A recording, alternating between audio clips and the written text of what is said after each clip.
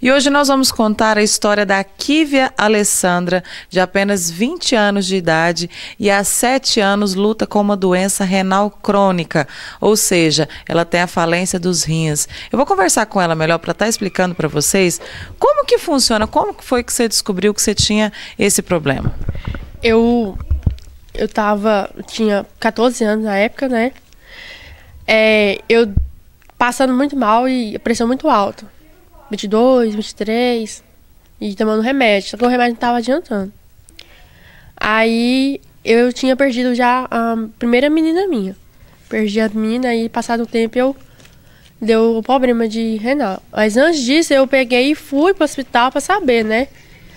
Só que aí fez os exames, aí o médico que era para tratar em casa. Só que aí ele foi tratando em casa com remédio aí, só que não, não adiantou adiantou tratar com esses remédios. Voltando para o hospital. Quando eu voltando para o hospital, para ver, já era tarde já. Foi aí que eu entrei na, na hemodiálise.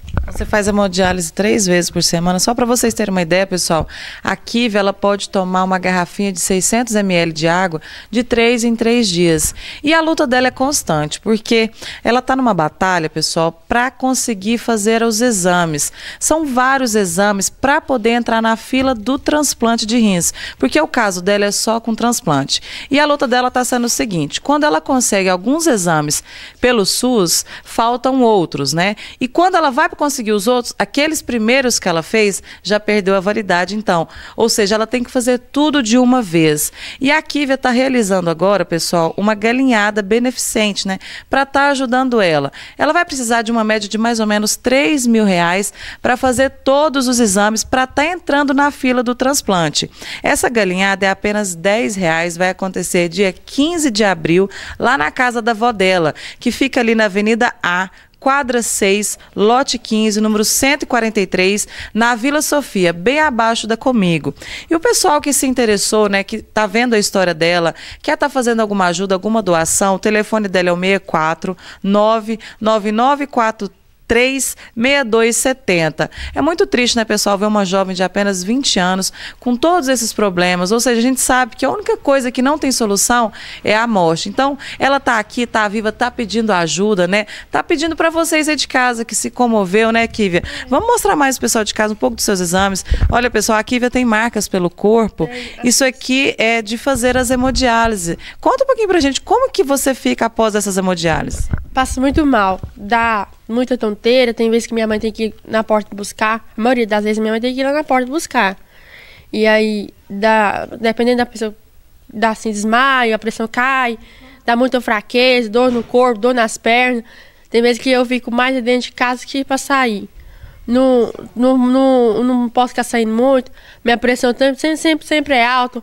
É 24, 22, 23. E assim, eu passo muito, muito, mas muito mal. E assim, esses dias pra cá eu desemagreci muito, muito mesmo. Aí, inclusive, minhas roupas, tá tudo roupa, maioria de crianças, de adolescente mais novo.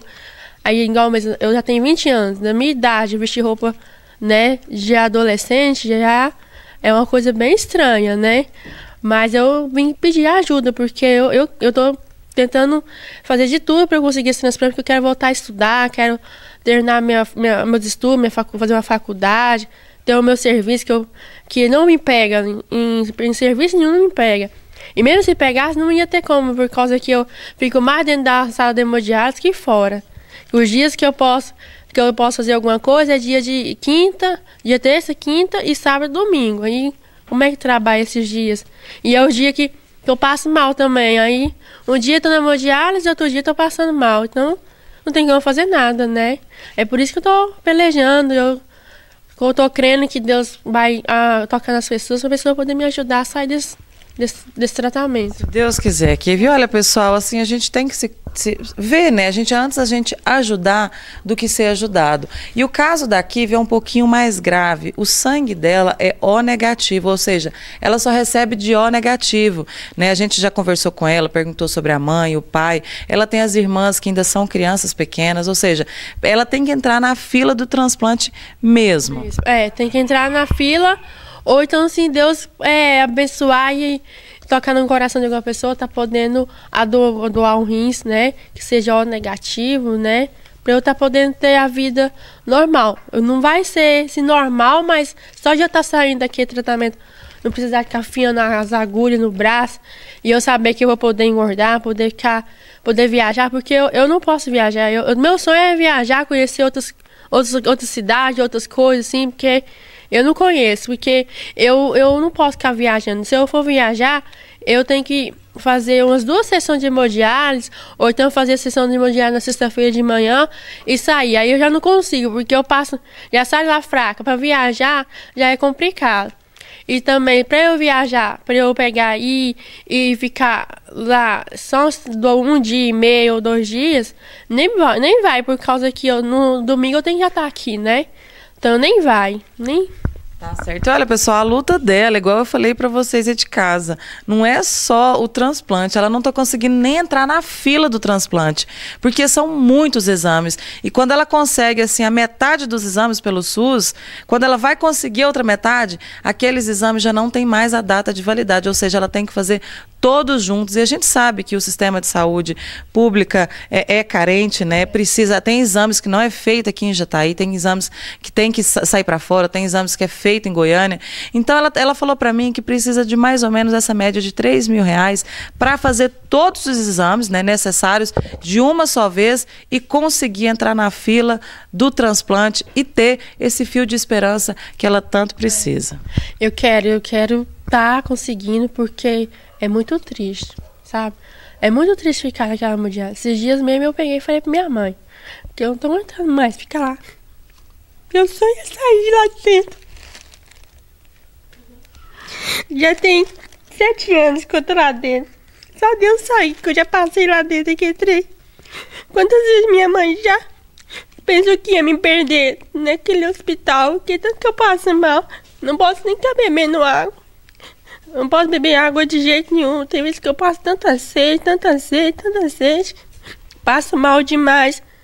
Dentro nessa na cama ali, eu falo, Senhor, me dá força, porque eu não tô tendo nem mais força mais não tem força mais pra pelejar, porque meu corpo tá tão assim, cansado, tá cansado. Querendo sair daquele treino lá. Que é muito triste. Quem. O que a maioria das pessoas não conhece, mas se as pessoas for lá dentro, aquela hemodiálise, vai ver tanta pessoa lá dentro, tão querendo sair lá de dentro e não consegue. Muito sofrimento, mas você tem que saber, Kívia, que Deus é mais. Ele não ia te dar um fardo que você não conseguiria carregar. É sim, eu, eu, eu não reclamo não, sabe? Eu, a gente tem as fraquezas da gente, tem os treinos, mas tem as experiências, mas a gente consegue, a gente... Eu tô sempre aí, tô batalhando, quem me conhece não vê os animados, assim, a gente tem aquelas recaídas da gente, mas... Mas eu, graças a Deus, Deus dá muita força para eu vencer, para eu ter meu sorriso no rosto, eu, o que eu pudesse, o que eu posso fazer, eu vou, faço. Eu não desisto da vida, não. Eu quero viver, eu quero.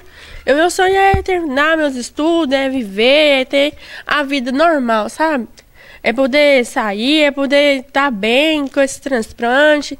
E eu creio que Deus vai tocar no coração das pessoas para poder estar tá me ajudando, para eu poder conseguir esse transplante logo, logo. E tá bom, e se Deus quiser, nós vai conseguir. Eu creio que o pai lá em cima tá dando força para nós conseguir. Tá sim, eu ainda vou voltar aqui fazer uma matéria com você, mostrar que você conseguiu, Kívia, porque Deus é maior, Deus está vendo a sua luta, né? E é igual eu te falei, o fardo só vem para aqueles que conseguem carregar. Então, se ele viu que você conseguiria, você vai sair dessa, tá? Tá certo, obrigada pelas informações, muito boa sorte. Olha, pessoal, vou reforçar para vocês mais uma vez, né? O ingresso da Galinhada Beneficente, vocês podem estar tá adquirindo, né? Ou ligando no telefone também. O telefone é o 99943 6270. Pode ligar, pode comprar o ingresso da galinhada, pode ajudar a Kiva, né, com um valor, uma quantia em dinheiro para ela estar tá realizando esses exames, pessoal. Porque é muito fácil a gente estar tá aqui, né, com boa saúde, né, trabalhando, indo para a escola, para o trabalho, vendo nossos filhos todo dia, enquanto ela, essa jovem de apenas 20 anos que quer só viver, né, quer, quer desfrutar da vida, quer trabalhar, quer criar os filhos, né, quer, quer ter uma família e não consegue porque não tem essa quantia de 3 3 mil reais para estar tá realizando os exames para entrar, entrar na fila do transplante, porque ela nem não está na fila porque não consegue o dinheiro dos exames. Então, vai dar tudo certo, minha querida. Você quer finalizar, deixar algum recado para alguém? Eu quero, eu quero que, que Deus possa estar tocando e nas pessoas para estar tá me ajudando com esses exames. E quem quiser conhecer minha história pode estar tá vindo aqui. Eu vou estar tá sempre aqui para estar tá explicando para as pessoas. E para aquelas pessoas que também não conhecem o tratamento, possam saber também como é que é. Porque também não tem só eu. Tem muitas pessoas de novo lá dentro, sabe? Muita pessoa, mas é muita pessoa mesmo. Lá na Modiás tem três turnos. Tem três turnos. E eu acho que tem uma base de umas, umas 60 máquinas, mais ou menos. Eu acho que é nessa faixa, sabe? Que é muita gente mesmo, é gente mesmo. E que, o que é que levou você a ter esse problema? Foi a falta de ingerir é, a água? O que que é? A infecção. É infecção. É infecção de, de urina. Aí sobe pro rins e aí para, né? Dá, ataca tudo. Mas também tem. Cada pessoa tem um caso, né? Tem uns que é diabético, tem uns que é provavelmente mesmo assim, bebe água aí, né? Não, não cuida da saúde, aí, aí como é que faz, né? Vai. Tá certo. Mas, mas, o, o, mas o meu mesmo foi por causa assim que deu infecção e foi por rins mesmo. Tá aí na que foi tratar já tava tarde já. Tá certo, nós já fizemos o nosso, nosso comunicado a todos. Eu tenho certeza que o povo de Jataiense é um povo assim, acolhedor, vai te ligar, eu tenho certeza, vai te ajudar nessa luta, nessa batalha.